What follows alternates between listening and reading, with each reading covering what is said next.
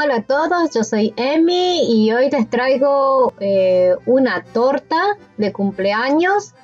Eh, yo no soy para nada repostera profesional ni nada por el estilo, pero lo importante es hacer una torta con cariño. Esta torta la hice para mi cuñado y bueno, les quería mostrar cómo la había hecho. Eh, espero que les guste y aquí va a estar todo el procedimiento de cómo me costó hacer esta torta. Eh, pero bueno, eh, es difícil hacer también tortas para hombres eh, y bueno, traté de hacer lo mejor posible.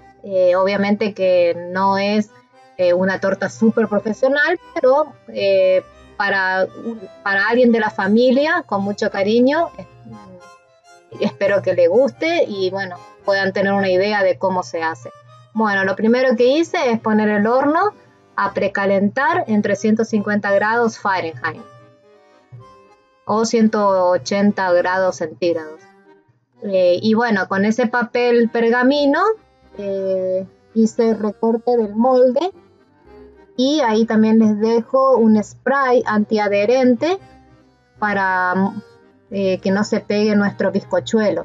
Entonces ponemos el spray, ponemos el papel pergamino en la base y estallamos bien, bien, bien todos los bordes del, de nuestro molde. Bueno, lo que hacemos ahora es tamizar nuestra harina por lo menos tres veces para que se airee y esté limpia y lista para cuando tengamos que mezclar con, con nuestro, con el resto de la mezcla. Esta torta eh, lleva 360 gramos de harina 250 gramos de azúcar, 12 huevos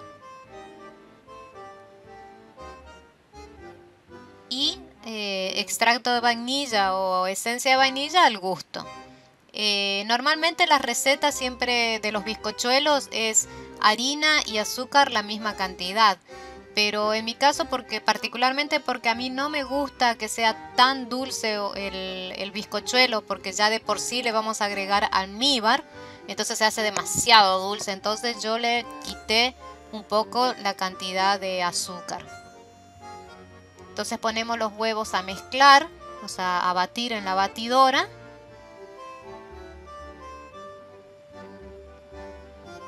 Y vamos agregando de a poco el azúcar. Yo quise mostrar este video tal, tal como lo fui haciendo, con mis dificultades, con el tiempo total, con muy pocos cortes, para que vean realmente lo que cómo me llevó a, tratar de hacer esta torta. Entonces ahí empezamos a la 1 y 13 de la tarde, empezamos a, a batir nuestros huevos y vamos a ver cuántos minutos nos lleva a que quede nuestro punto letra. Ahí ya iban dos minutos más. Ahí ven cómo va subiendo los huevos. Se va esponjando, por decirlo así. Ahí yo paré para probar, pero todavía estaba muy líquido. Tiene que formarse figuritas en el huevo y no hundirse cuando ya para punto letra. Ahí ya habían pasado unos 8 minutos más o menos. Seguimos batiendo.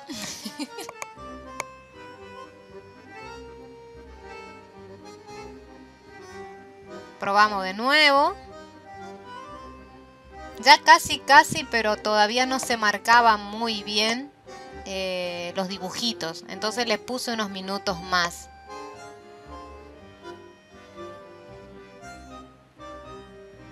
Habían pasado ya 11 minutos de batido.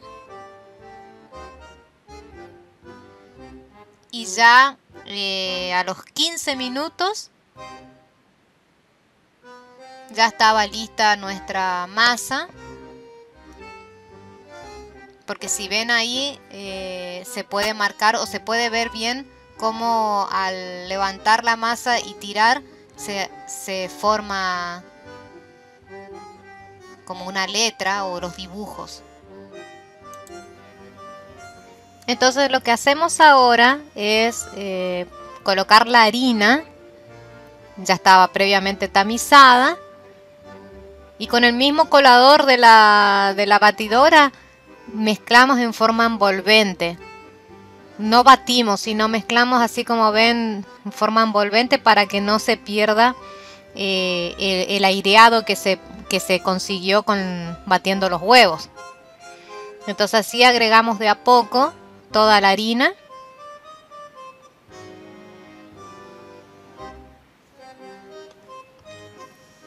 Siempre con movimientos envolventes.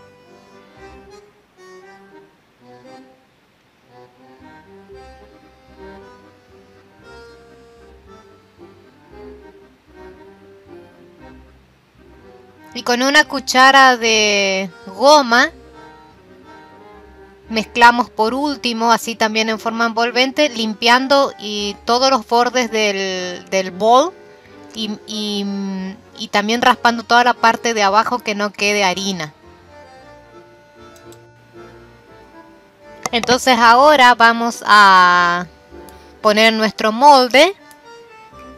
Y bueno, yo previamente pensé que me iba a alcanzar para ese simplemente molde, pero me di cuenta que me sobró mucha mezcla, entonces volando me fui a, a como es, sprayar otro moldecito más pequeñito, ese que ven ahí, y entonces puse el resto de la mezcla para no desperdiciarlo, porque yo pensaba hacer simplemente un pastel, pero bueno, me salieron dos, entonces decidí hacerlo entonces en forma de torre.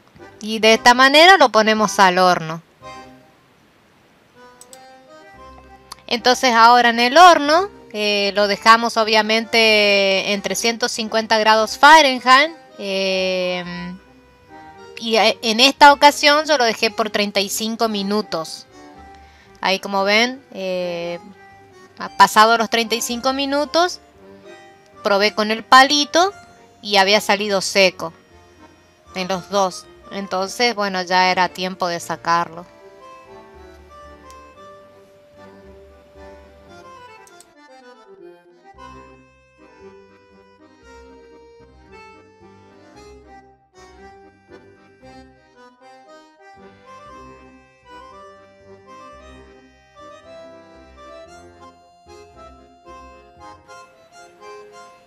Ahora entonces me puse a hacer el almíbar. Entonces puse eh, a ojo. La verdad que no me di. Puse a ojo en una ollita agua y unas cuantas cucharadas de azúcar. Eh, como les dije, no quería que salga tan dulce el almíbar. Entonces lo hice no con la exuberante cantidad de azúcar que, que veo en las recetas para hacer almíbar porque sale hiper dulce. Y traté de probar con, agregándole ese... Eh, no es como licor, sino como saborizante. Y le puse un poco para que le dé otro sabor. Y de esa manera fue que hice mi almíbar para, para la torta. Pasado unos 5 minutos, eh, los desmoldé directamente a los bizcochuelos unos 5 o 10 minutos. Y dentro de todo salieron bastante, bastante parejos. No, no tuve necesidad de estar cortando para quitarle eh, sobrante. Bueno, en realidad no, no se notaba tanto. Bueno, ahí dejamos hervir bastante tiempo el almíbar para que tome bien el sabor del aromatizante, ese que de la botella. Y lo que hice es poner, una vez limpio los moldes que usamos, papel film o mejor dicho plástico film en, el, en todos los bordes del molde. Porque ahí mismo vamos a cortar el bizcochuelo y rellenar. Que se hace mucho más fácil.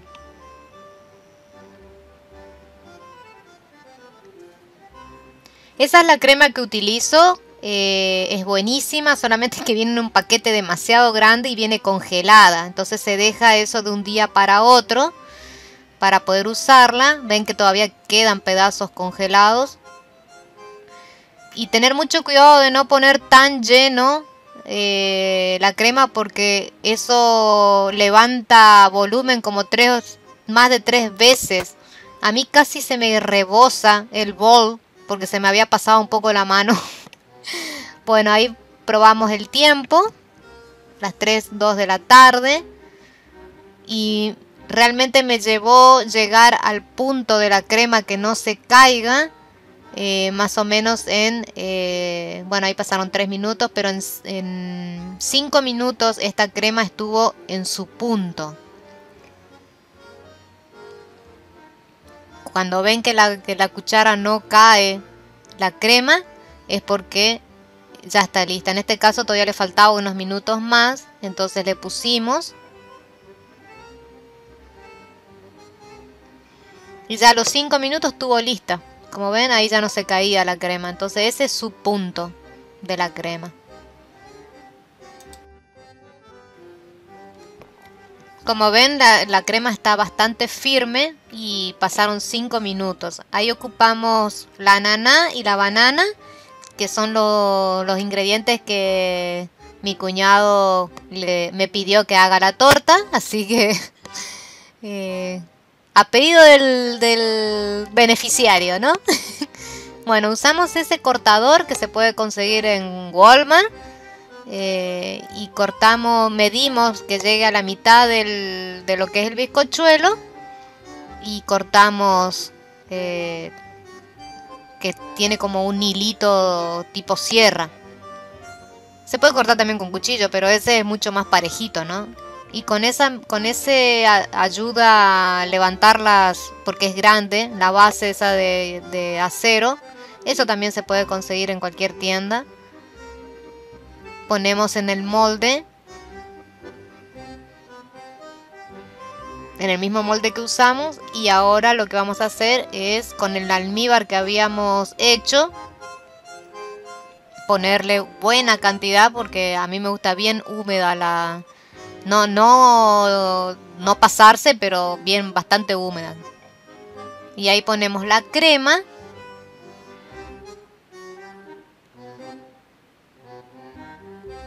Una capa de crema.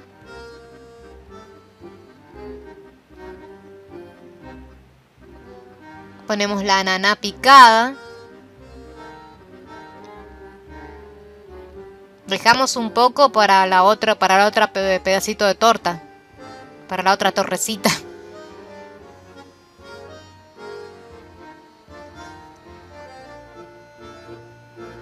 Después ponemos la banana.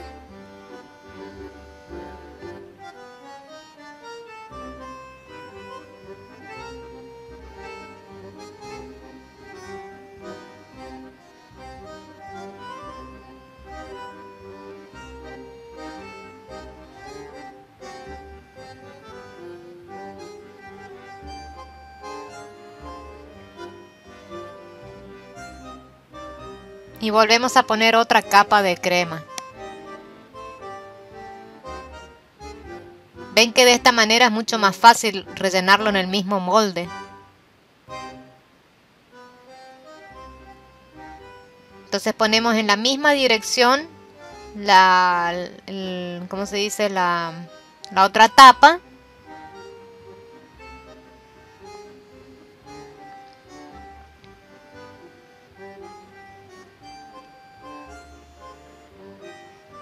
Este bizcochuelo salió muy muy parejo, la verdad que no tuve ningún problema con respecto a que si estaba que le que esté torcido, porque ven en el molde quedó bien eh, toda la base pareja.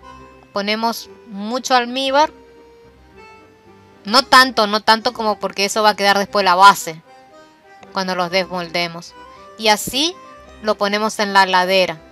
Lo mismo, el mismo procedimiento hacemos con la tortita chiquitita como yo, eh, o sea, yo recomiendo que mejor dejen la torta y lo hagan de un día para otro. O sea, que esto lo dejen, ponerle, lo hacemos hoy y recién lo desmoldan mañana. Pero yo en mi caso no tenía tiempo y tuve que hacerlo dejando unas dos horas nada más de reposo en la ladera.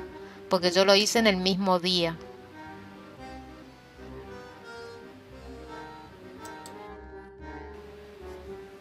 Pienso que quedaría mejor desmoldarlo de un día para otro porque tomaría mucho más consistencia y sería, o sea, mm, tomaría más sabor y pienso que está mucho mejor, pero en mi caso, bueno, solamente dejé dos horas. Como ven ahí vamos a desmoldar.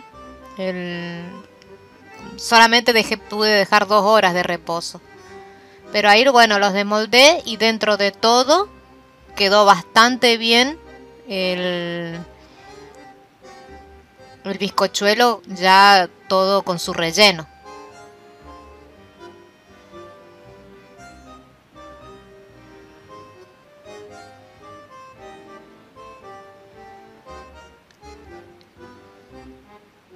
Toda esta parte eh, se me hizo bastante fácil. Lo más difícil para mí fue eh, el tema de la decoración. Eso es lo que más trabajo me ha llevado. ¿Ven cómo quedó bastante parejito? En esa base que ven ahí, eso también se consigue la blanca giratoria, también se consigue en el Walmart.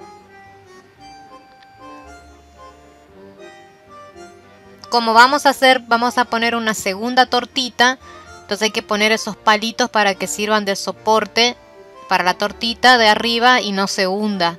Porque obviamente el peso hace que se pueda hundir en, un bizcochuelo, no en una torta. Entonces se, se tiene que poner esos palitos para que hagan de soporte.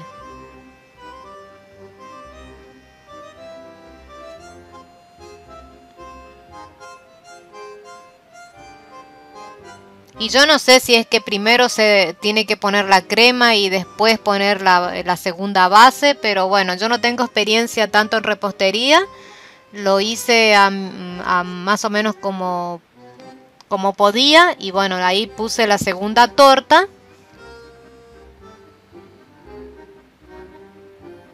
Y acá empezó mi suplicio.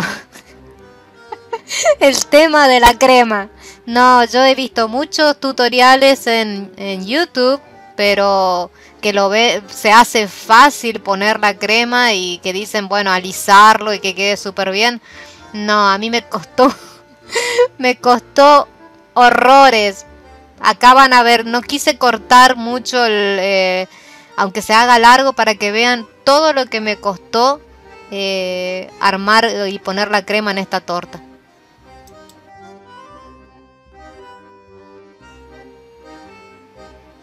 Como ven, traté de hacer lo mejor que pude. Em, se hace, para mí se me hizo muy, muy difícil. Yo no tengo experiencia en, en, alisar con crema un pastel. Eh, se me hace más fácil manejar una manga y poner directamente con manga la crema. Pero bueno, tenía que, hacer, que alisarlo de alguna manera, de alguna manera tapar el, el bizcochuelo que no se vea con la crema. Entonces fui poniendo y sacando, poniendo y sacando la crema, poniendo y sacando. Y bueno, eh, acá les dejo todo mi suplicio. Pero bueno, eh, a veces existen los truquitos como para que no se note tanto eh, la imperfección, porque obviamente uno no es un repostero profesional, sino simplemente alguien que quiere hacer un pastel en forma casera. Eh, y bueno, ahí les dejo cómo traté de, de tapar un poco todo el lío de la crema. Así que ahí vamos, ahí vamos.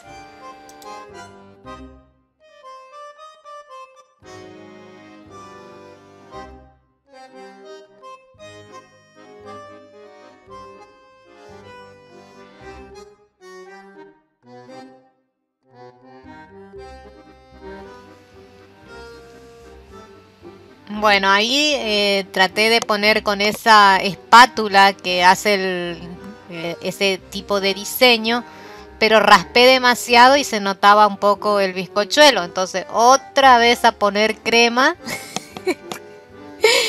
para tapar todo esa, el mismo que no se vea el bizcochuelo, ¿no? Entonces de nuevo a poner crema y bueno, y volver otra vez a poner la espátula y no, no con tanta presión. Pero gracias a ese, a ese truquito eh, se pudo tapar dentro de todo la imperfección del alisado, porque si vamos al caso de un alisado, para nada, para nada se ve un alisado, pero bueno, teníamos que arreglarlo de alguna manera, porque yo me pasé ya, estaba creo que como una hora, y digo, no, en algún momento tengo que finiticar esto. Entonces ahí lo que hice es poner en una manguita, derretí chocolate, o sea, los chips de chocolate, eh, y lo puse en una manguita de plástico y simplemente lo derretí y así lo estoy poniendo en la torta como eso es como el, como que le digo el truquito con la espátula las líneas y el chocolate encima entonces no se nota tanto la imperfección de lo del alisado de la crema entonces ese pienso que me ayudó bastante a que no se note tanto Eh, el tema de la crema, porque ese fue el gran suplicio para mí en este y desafío para mí en esta torta, la verdad. Hay un pedacito ahí que se me que se me no, me di cuenta que no estaba grabando, quedó cuando agarré la manga y puse esa línea de estrellitas de con la crema. Entonces ahí, bueno, traspasé de la base giratoria directamente a la base que ya va a quedar la torta. Y bueno, me quedó un poco chica la base, desgraciadamente. Eh, ahí le estoy poniendo con la manga eh, la crema así para darle una terminación más o menos que se vea bien. Es de estrella, la, punta es bien grande. Pero ustedes pueden elegir cualquier tipo de diseño de, de las boquillas y hacer una terminación. Eso es lo que ayuda mucho el tema de las boquillas y trabajar con la manga, porque tapa mucho las imperfecciones en un pastel y mm, podés trabajar mucho mejor. Y el tipo de crema esta que se consigue, esta la conseguí en el Smart Final. Yo estoy aquí en Estados Unidos.